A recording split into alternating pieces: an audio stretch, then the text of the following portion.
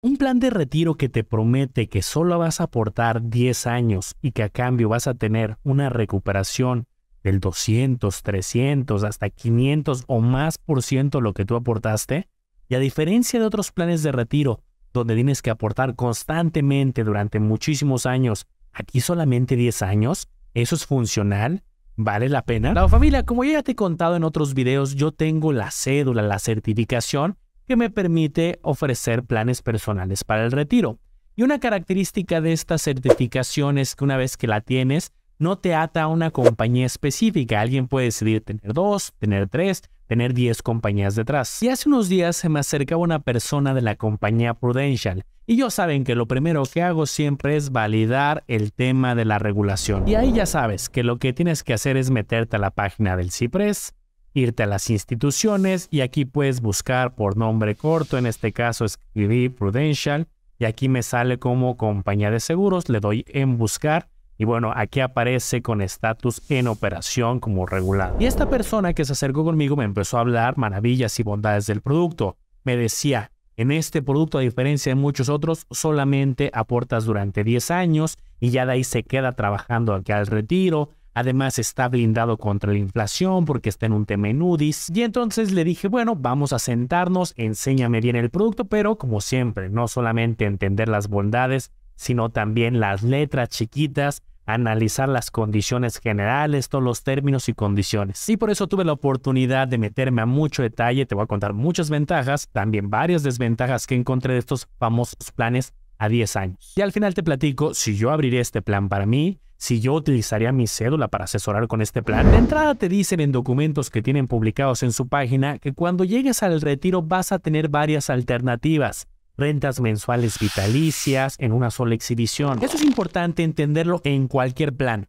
Una vez que llegues a la edad de retiro, llámese a los 60, 65 años, a la edad que tú te hayas propuesto, ¿qué va a pasar con el dinero? Muchas veces estás en proyecciones que se van a juntar varios millones y ahí viene una pregunta voy a poder sacar todo el dinero en una exhibición, me lo van a dar por partes o cuál va a ser el esquema. Y en esta compañía nos hablan de dos alternativas y aquí te dejo un diagrama para entenderlo más sencillo. Llegas a los 65, lo retiras en una sola exhibición o llegas a los 65 y decides un esquema que se llama rentas vitalicias, que dicho de otro modo te van a dar una renta todos los meses de por vida. A mí en lo personal me gustan los esquemas de una sola exhibición. Dame el dinero y yo lo pongo a trabajar, veo si quiero poner un negocio, si quiero viajar, veo qué hago con ese dinero y hasta lo puede invertir en otras estrategias, desde unas muy sencillas como CETES o FIPOS, otras que hemos visto aquí en el canal. Este video llega gracias a las consultorías gratuitas para el retiro con el equipo El Lago de los Business. Pide que te hagan tu proyección, te explicarán de las inversiones reguladas que se manejan y cómo puedes tener una devolución de impuestos cada año por invertir en un plan de retiro. Y la realidad es que la mayoría de planes de retiro del mercado maneja este esquema. Te lo entregan en una sola exhibición, incluso tú puedes decidir cuánto quieres retirar. La parte que es poco conocida es la otra, la de rentas vitalicias. Este esquema de rentas vitalicias, como funciona es, tú renuncias a la cantidad completa que juntaste y digamos la canjeas para tener una mensualidad y como lo dice, crearte una renta de forma vitalicia. Este es para quien busca dosificar justamente el recurso, no lo quiero una sola exhibición, lo quiero ir parcializando y sobre todo predice una vida longeva. Alguien que diga, yo voy a vivir a los 90, 95 años o más y entonces quiero recibir esta renta vitalicia, alguien que se mantenga muy sano y tenga justamente esta proyección. Pero déjame darte una buena noticia. Esta ya no es una ventaja exclusiva que esté ligada a los planes de retiro. Antes era un atributo de, mira, este plan de retiro tiene este esquema.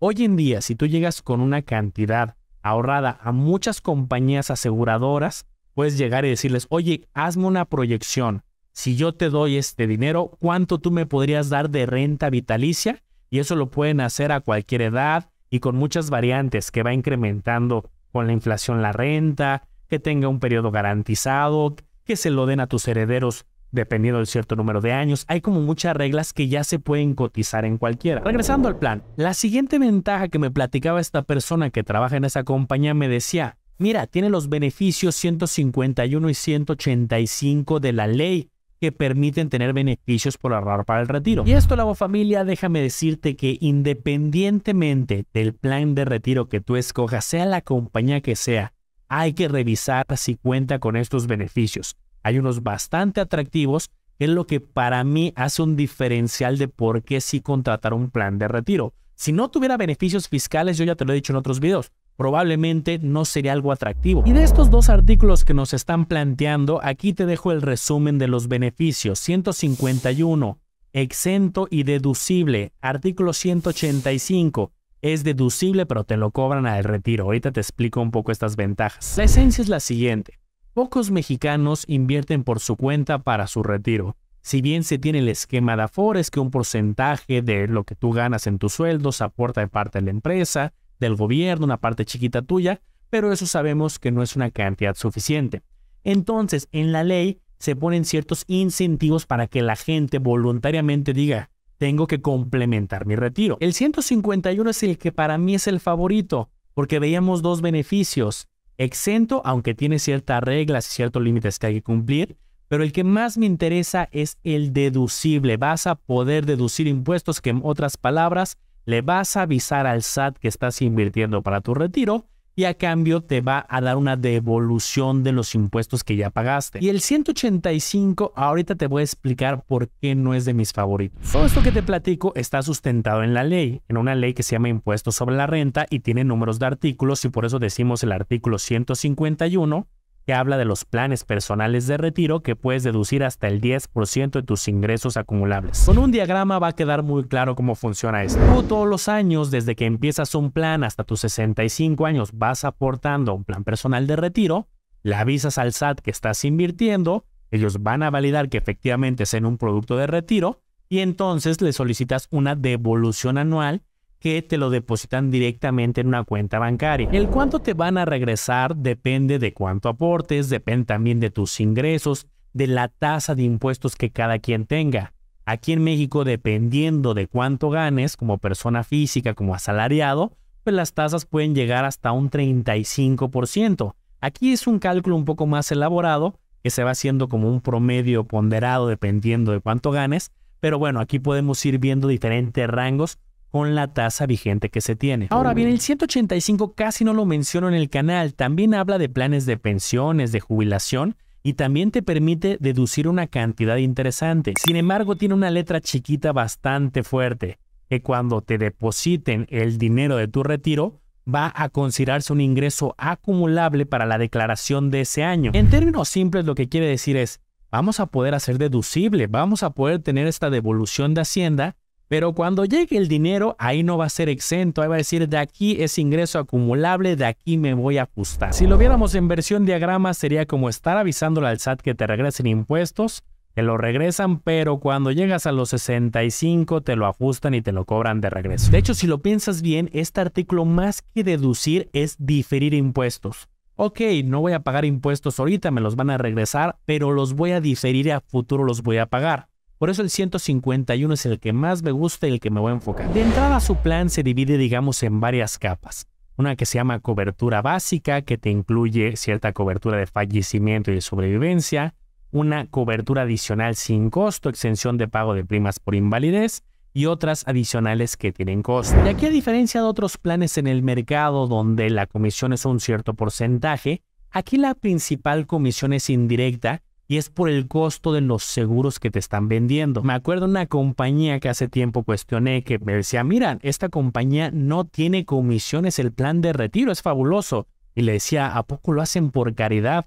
Y entonces era esto, que justamente no había como un porcentaje o una comisión de apertura una comisión mensual, pero te vendían un seguro. Les decía, bueno, esa es tu comisión indirecta, estás vendiendo un producto y eso tiene pues, un valor. En este tipo de planes en el mercado hay que irnos mentalizando que una parte de las aportaciones se va a ir a ahorro y otra parte a pagar los seguros de vida, seguros de invalidez o los que incluya. Habrá que ir viendo en qué proporción en cada uno. Y a ver, y de esta cobertura que ahí mencionaban que ya estaba incluida, ¿de qué va? Esta la he visto en varios planes. A ver, en una situación que no se desea, tocando madera, pero asumiendo que alguien va cumpliendo con el plan y en algún momento cae en una situación de invalidez que ya no le permite trabajar y tampoco le permite tener recursos para pagar su plan, como dice el nombre, exención de los pagos. Si se cae en esa situación ya no tienes que pagar entonces la compañía va a pagar, digamos, las anualidades por ti si se llegara a caer en esta situación específica. Algo que vale la pena aclarar para este y cualquier plan,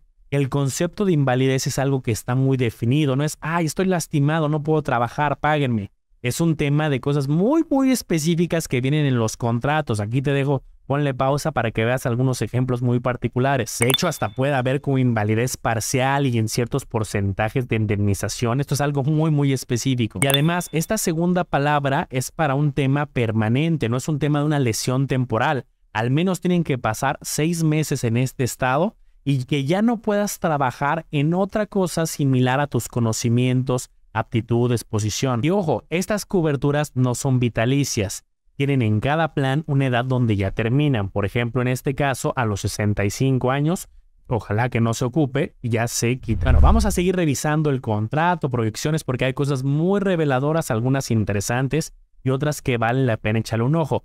Pero como siempre, ayúdame con una manita arriba si esto te está sirviendo, porque ya sabes, aquí hacemos un esfuerzo por todas las semanas hacer grandes las letras chiquitas de las finanzas. Algo que encontré que llamó mucho mi atención es que estos planes están diseñados para pagarse anualmente, que si tú lo quieres pagar de forma mensual, trimestral, lo vas a poder hacer, pero puede aplicar una tasa de financiamiento por pago fraccionado. Esto, por ejemplo, lo había visto en otro tipo de seguros, por ejemplo, en seguros de gastos médicos, pero en estrategias de ahorro e inversión, me parece que no es tan compatible o algo tan ideal. Oye, te voy a dar mi dinero, pero si te lo voy a dar mensual, me vas a cobrar entonces una tasa de financiamiento como si me estuvieras dando un crédito.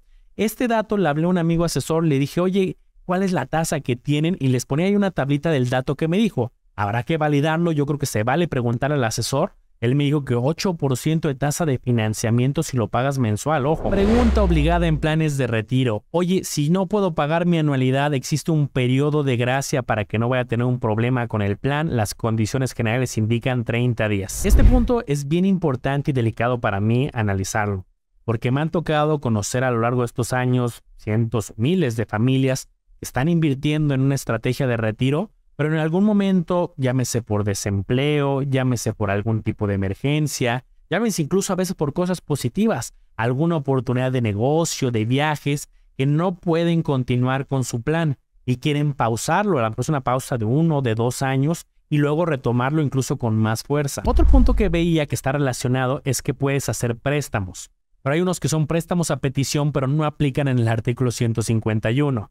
Y entonces son los préstamos automáticos donde si tú te atrasas, digamos que te prestan de los excedentes que ya hayas abonado anteriormente en tu plan. Si tú ya tienes un monto que le llaman valor de rescate y es un, digamos, un monto que pudiera retirar, dicen, te tomo en garantía y te presto de tu propio plan. O sea, como que el plan se va autoconsumiendo para poder pagar y en algún momento, pues esto es una situación temporal que si se agota es donde ya te hablan de los 30 días y no podría proceder una cancelación. Y aquí está un poco lo que te decía, ya sea por falta de pago o si ya no te pueden hacer préstamos de tu propio plan, ahí se podría terminar la póliza de acuerdo a las condiciones generales. Entonces, en flexibilidad tiene ahí algunos retos. Vamos a ver una parte interesante.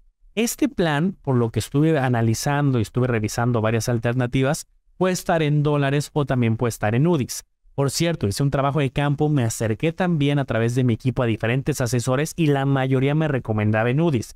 Decía que son los que han sido más consistentes y por eso quiero focalizarme en este. Esto de la UDI es un valor que tú puedes consultar muy fácil, te puedes meter a la página de Banco de México, banjico.org, y ahí te van a publicar el valor de la UDI actualizado, en este momento poco más de 7.59. Y esto es algo interesante. Esta UDI va incrementando en función de la inflación, como van subiendo las cosas. Hay años donde la inflación está relativamente controlada y sube un 2-3%. Hay años como este último reciente que la inflación se ha descontrolado y está mucho más alta. Para entender más este plan hay que revisar un poco la historia. Aquí puedes ver la inflación en los últimos años y podemos ver que en promedio se mantiene cercano al 4%. De hecho, las autoridades quieren que se mantenga en un rango entre un 2 y un 4% para decir que está controlado. ¿Y por qué es importante esto en este plan? ¿Qué tiene que ver? Tanto las aportaciones que tú vas a ir haciendo como el rendimiento potencial van a estar asociados a esta UDI. Quiero que esto sea un ejercicio muy práctico, por eso te voy a enseñar una proyección que a mí me hicieron. Por ejemplo, me decían, vas a tener una protección de 195 mil UDIs, tanto en caso de llegar a faltar como el tema de invalidez. Eso si lo paso a pesos hablamos de cerca de un millón y medio y esa cantidad va creciendo. También me decían, ahí están transparentes los costos. Tú vas a pagar por todo este paquete alrededor de 8000 UDIs y ahí me lo desmenuzaban. 7035 UDIs para el componente básico, es un componente de ahorro y un componente también de seguro, que es el de llegar a faltar. Y también puedes comprar otras protecciones adicionales como la de invalidez y ahí están los costos. Si lo paso en pesos, estas protecciones adicionales me iban a costar cerca de 7.300 pesos y lo que se iba a ir al plan, era un componente de ahorro y de seguro, eran 53 mil pesos. Más o menos así son las proyecciones que te entregan en esta compañía. Vienen los años desde que inicias el plan hasta tu retiro, viene tu edad, viene también la suma asegurada que esa se mantiene, esa empieza desde el año 1 y así hasta tu retiro. Y viene la prima anual, que dicho otro modo lo que tú vas a aportar. En esta proyección que a mí me hicieron, me decía, tú vas a aportar 8000 UDIs el año 1, 8000 el año 2 y así solamente durante 10 años. Entonces, lo primero que tuve que hacer es pasar de UDIs a pesos. Esto te lo puede entregar una proyección el asesor o tú también podrías calcularlo. Al final tenemos el valor del Audi en la página de Banco de México y yo para un ejercicio conservador y realista te diría que un incremento del 4% anual me parece aceptable. Y aquí lo tienes. Yo, por ejemplo, si voy multiplicando las 8000 UDIs y considerando que van incrementando cada año, esta es más o menos la proyección que a mí me hicieron. Este primer año aporta 60,000 aprox. En tres años aportará 68,000. En el año 6, 79,000. Y así hasta llegar al año 10, 96,500 de acuerdo a esta proyección que me entregaron. Ojo, recordando las reglas pasadas, yo lo que tengo que mentalizarme es, que deberían de ser pagos anuales, porque si lo mensualizo ya vimos que hay una comisión importante, bueno, este pago fraccionado. Y dos, que no debo de atrasarme porque si no tengo el tema de 30 días. Digo, tengo el esquema de los préstamos, pero el 30 días es lo que dice en el contrato que debo de cuidar mucho. Pero la columna que a nosotros nos interesa en este tipo de planes, aparte de cuánto vamos a aportar, es cuánto vas a poder rescatar. Esto quiere decir, conforme vas avanzando en el plan, cuánto sería retirable. A ver, en ningún plan de retiro de ninguna compañía es recomendable retirar los recursos antes de la edad de retiro. ¿Por qué? Porque Hacienda te está dando beneficios. Ya hablamos de un beneficio de exención, te está regresando impuestos. Si tú no le cumples a Hacienda esta regla de entrada, se va a ajustar y le va a decir a la compañía, antes de que le entregues el dinero, eso lo va a decir Hacienda, deposítame a mí el 20% para tener un dinero y poder hacer cuentas con esta persona que no me cumplió, más las penalizaciones que puedan existir en un plan de retiro específico. En este plan, como varios del mercado, me doy cuenta que los primeros años el valor de rescate es relativamente bajo. Va incrementando ya a lo largo de los años, pero al principio, por ejemplo, los primeros años, si tú quisieras cancelar aún aceptando la penalización de Hacienda, no vas a recuperar o va a ser una cantidad muy chiquita. De hecho, algo que quise proyectar es, a lo largo de los primeros años, cuánto llevarías tú de acumulado aportado en el plan y cuánto recuperarías. Esto ya transformado en pesos y con la estimación de la UDI al 4%. Y cualquiera de estos 10 años recuperas menos de lo que aportaste. Pero insisto, este no es el objetivo del plan, retirarlo al año 5, retirarlo al año 8. Para eso hay muchas alternativas allá afuera que si SOFIPOS, que si fondos de deuda, que si CETES directo. Hay muchas alternativas de corto plazo para retirar antes. Entonces, en lo que me voy a enfocar en esta tablita no es en cuánto voy a rescatar los primeros años, es cuánto voy rescatando a lo largo de los años, pero sobre todo ya acercándose a mi retiro. Y aquí te dejo una proyección donde ya vi, ah, ok, si retiro el año 5 o 10, pues va a ser menos inclusive de lo que aporté. Pero dado que aquí solamente aportas 10 años y ya la cantidad se queda fija, pues ya cuando vas en el año 20, 25, 30, dependiendo cuántos años falten para tu retiro, se pone más interesante. Y aquí viene una pregunta clave que yo siempre me hago en todos los planes de retiro. Como es un plan a muchos años, obviamente se va a ver interesante la proyección. Un plan a 20, 25, 30 años, pues usualmente en los planes de retiro se juntan varios millones. Aquí, por ejemplo, se aportaban cerca de 780 mil y bueno, se pueden recuperar 2, 3 millones. ¿Es algo bueno? Se puede hacer un cálculo intermedio avanzado para obtener una tasa que tiene que computar cuándo hicieron las aportaciones, en cuántos años te dan tu dinero y así poder obtener una tasa promedio. Existen algunas variantes para calcular tasas de interés. Yo aquí utilicé dos metodologías con estas mismas proyecciones y los primeros años pues obviamente es negativo porque no recuperas todavía el valor de rescate. Ya después empieza a crecer y los primeros años la tasa digamos es relativamente baja. ya en la proyección directamente de retiro, me daba aproximadamente entre un 5 y un 8%. Y esto para que sean para mí más fácil comparar, porque insisto, proyecciones a largo plazo se suelen ver interesantes. Para ello utilicé una calculadora financiera para hacer estos cálculos. Y ojo, obviamente son proyecciones de mi caso. Si tú tienes un asesor, te debe de sacar este cálculo, es un cálculo intermedio, pero te debería dar no solamente cuánto vas a aspirar, que ese número se va a ver alegre, sino también en rendimiento promedio anual. De hecho, uno de los asesores que me hizo una de estas proyecciones, su escenario era un poco más conservador, era que juntaba 2.3 millones, cuando en el mío era juntar 2.8 millones. Sí voy a tomar mi escenario porque creo que lo hizo un poquito más conservador, que eso me parece bastante transparente, pero creo que el mío es un poquito más realista y sale un poco más alegre a la realidad que yo considero. Y lo que fue más valioso para mí en este ejercicio es compararlo con el plan que ya tengo, de hecho el principal plan donde yo hoy estoy aportando para mi retiro. De entrada quise hacer una proyección comparable, aportando solamente 10 años y una cantidad incluso menor de 60 mil anuales. En este caso, la aportación acumulada en los primeros 10 años en el plan que yo hoy tengo sería de 600 mil en el caso del de Prudential que estamos analizando serían 783 mil. ¿Cuánto llevaría en el fondo en este año 10? En este caso, aportando menos ya llevaría 904 mil, mientras aquí el rescate apenas va en 728. Y es que aquí hay una diferencia importante. ¿Por qué en uno aportas menos y va ya en el año 10 con una cantidad mayor? Que si eso ya lo proyectamos a 20 años, a 30 años, ahí es donde despega y se juntan varios millones. Pero ¿por qué va adelante? Acuérdense que el de Prudential tiene un enfoque más de protección, donde dentro estás pagando también por el tema de fallecimiento, por el, tema de invalidez, el tema de exención, y tienes estos componentes híbridos entre ahorro y protección, y este que estoy analizando es más un enfoque de inversiones. El siguiente punto que también me puse a analizar es el tema de la flexibilidad, en el que hoy yo tengo mi plan de retiro, si por contrato hay una parte obligada que no puedo fallar que tengo 60 días para ponerme al corriente en caso de un atraso, pero es un periodo de 18 meses.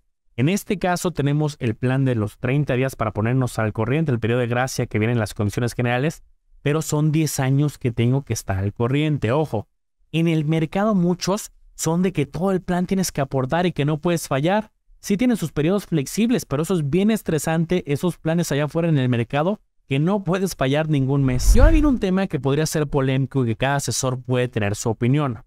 Para mí, ¿cuál es la justificación de tener un plan de retiro aparte de tener una cantidad para tu vejez? Porque eso puede ser en un plan de retiro por fuera. Y son los beneficios fiscales. En puntual, poder deducir impuestos. Todos los años yo aporto y entonces el SAT me regresa. Estoy aprovechando de por vida un beneficio fiscal. A ver, en el plan que hoy yo tengo para mí, sería la situación de arriba. Yo aporto todos los años y aspiro todos los años a tener una devolución. Es lo que estoy buscando y por eso tengo un plan de retiro para todos los años poder tener este saldo a favor. En el caso de un plan donde tú te mentalices a solamente ahorrar durante 10 años, digo, tienes esa flexibilidad, pero también dejarías de aprovechar del año 11 hacia adelante esta deducción, porque a lo mejor los primeros años ya topaste lo que por ley puedes deducir anualmente. ¿Y qué tendrías que hacer después? pues abrir otro plan a lo mejor de otros 10 años o buscar alguna alternativa adicional para deducir impuestos. Que también ahí te va el mismo panorama pero visto de otra manera. En el que yo tengo actualmente son 18 meses que debes de aportar y después ya tienes flexibilidad. Alguien en un caso extremo podría decir después del mes 18 ya no aporto nada. Obviamente eso no es nada sugerido porque no va a alcanzar su estrategia de retiro. Pero alguien podría decir, oye, de este plan si lo único obligado son 18 meses, pues yo me puedo armar que voluntariamente sea de 10, o sea de 7, o sea de 5, o sea de 14 años lo que sí aporto, y cada quien decidir cuál es la periodicidad sin estar amarrado 10 años. Y ojo, no hay que confundir, yo ya lo he dicho en muchos otros videos, a mí me gusta el esquema de tener un seguro de vida y tener invalidez, es más importantísimo. Hay personas que es uno de los productos primeros que deberían de tener. Yo, por ejemplo, hace poco contraté un seguro que incluye las dos cosas, tanto vida como invalidez, por un millón de pesos y me costó cerca de 3.700 anual o aquí está de forma mensual. Y otro punto que también puse mucho en la balanza es el que ya comentamos. En el plan, por ejemplo, que ahorita tengo, puedo aportar mensual, trimestral, anual, cambiarlo, dar atípicos. Y aquí estaría este tema de la tasa de financiamiento por pago fraccionado. Insisto, habrá que ver de forma actualizada en cuánto está, pero esto es lo que me dijo un asesor y podía llegar hasta el 8%. Este es uno de los mensajes más importantes que rescaté de este ejercicio, tanto en este plan como en cualquiera.